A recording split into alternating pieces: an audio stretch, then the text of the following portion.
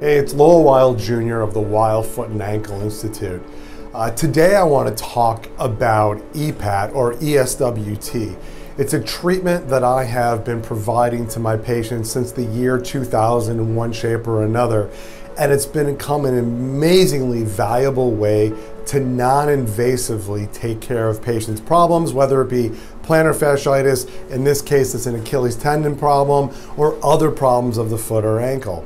Um, being that it's non-invasive, it's easy for patients to have done, and it doesn't interfere with their daily lifestyle. Uh, and so today I'm going to be treating an Achilles tendon problem, and I'm going to go through some of the things that I do. So today our patient's pain is in the Achilles tendon at the attachment of the heel bone. And she has gone through a number of things that were not effective for her, and she's had pain for quite some time. And this is now her third treatment uh, for this, and we do a series of five treatments.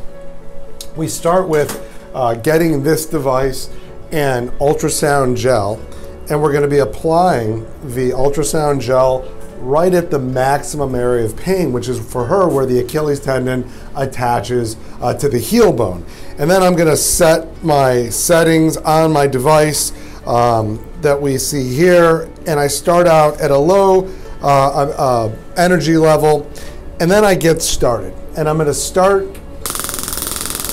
and we're going to be treating her area she and I have already talked about but during the treatment, she can give me feedback on where it hurts more and where it hurts less.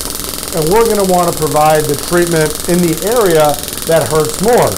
And we continue to move the device uh, as we go to maximize the effectiveness of the treatment.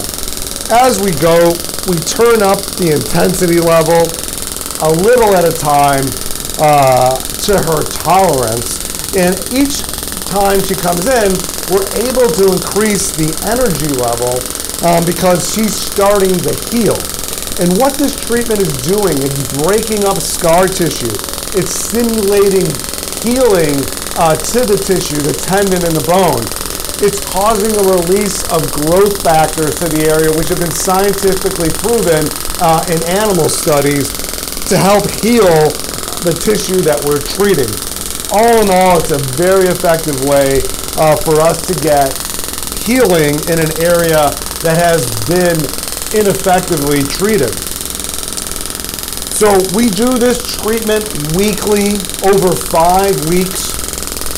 And while in between, she is still wearing proper shoes, arch supports, going through stretching and physical therapy, um, because all of these parts are important to the solution of healing uh, the Achilles tendon problem. And as you can see, I'm continuing to increase the intensity level uh, as I go. And I'm going to perform this 3,000 pulses. You can hear the repetitiveness of the pulses. It's 3,000 pulses. And while she's having some discomfort during this, uh, it's relatively tolerable.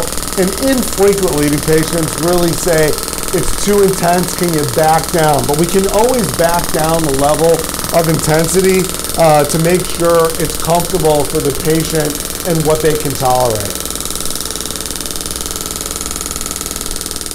Okay, so I've finished this. We're using the, the probe. I meant to say that I'm using the probe that is more focused in the area of maximum pain.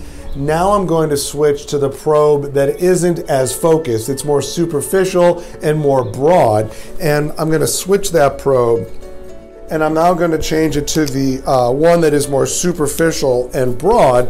And now we're going to treat up into the calf and the aponeurosis.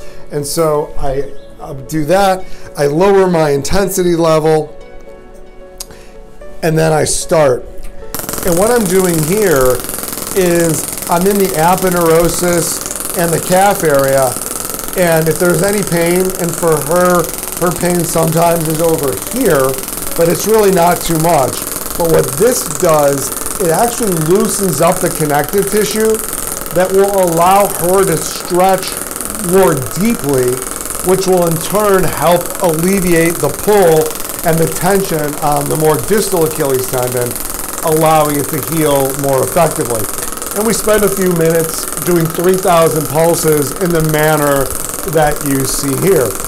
All in all, when we do this combined treatment for an Achilles tendon problem, we get over 80% success.